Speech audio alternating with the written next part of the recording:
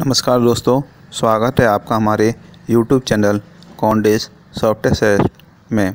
आज हम आपको ले चलते हैं कि ग्राउंड्स ऑफ़ अपील बनाने के लिए हमें किस किस चीज़ों का ध्यान रखना होता है।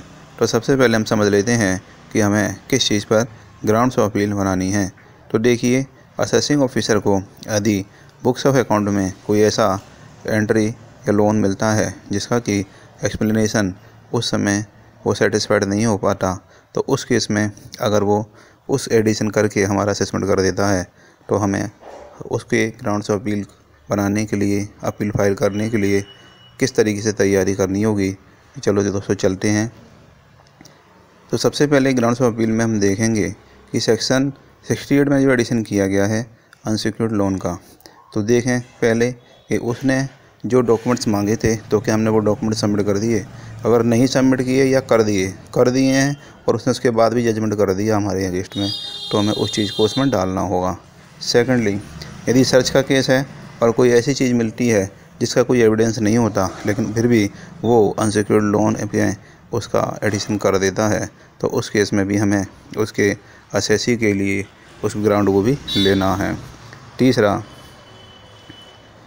अब जैसे मान लीजिए, आपने सम्मन इशू किए अनसिक्योर्ड लैंडर को, लेकिन उन अनसिक्योर्ड लेंडर ने कोई भी जवाब नहीं दिया या वो सबमिट नहीं हुआ तो इस वाले ग्राउंड को भी हम ले सकते हैं कि बिना सम्मन के इशू होने के बाद अगर अनसिक्योर्ड लोन वाला व्यक्ति नहीं आता अपेयर नहीं होता, उस केस में एडिशन कर दिया गया तो इस वाले ग्राउंड्स को भी हम ले सकते हैं।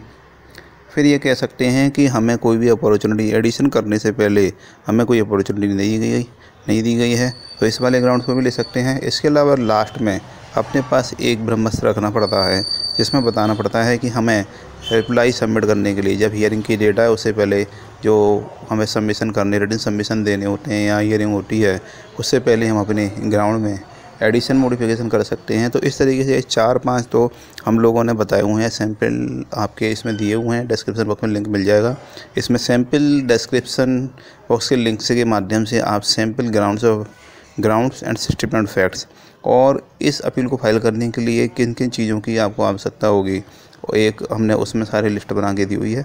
तो आप उस डिस्क्रिप्शन बॉक्स में जाके लिंक को डाउनलोड करने के बाद सारी चीज़ को समझ लें। और अपनी अपील को फ़ाइल करने से पहले इन चीज़ों को ध्यान में रखें, क्योंकि ग्राउंड्स ही एक ऐसी चीज़ है जिसके आधार पर अपील डिसाइड होती है। तो दोस्तों, जब आप उसको खोलेंगे और फ़ाइल डाउनलोड करके उसको देखेंगे तो आपको बहुत मदद मिलेगी और मदद मिलने के साथ ही आपकी ये पूरी अपील बहुत ही कम समय में, कम मेहनत में तैयार हो जाएगी। हमारा उद्देश्य भी यही है कि आपको हर किसी तरीके से आपको अपने प्रोफेशनल वर्क में मदद मिले। तो इसी के साथ दोस्तों, धन्यवाद। हमारे वीडियो को आपने अंत तक देखा और इसकी और उसको समझा, उसके लिए हमें बहुत बहुत धन्यवाद करते हैं। इसी के साथ दोस्तों, जय जन जय भारत। धन्यवाद।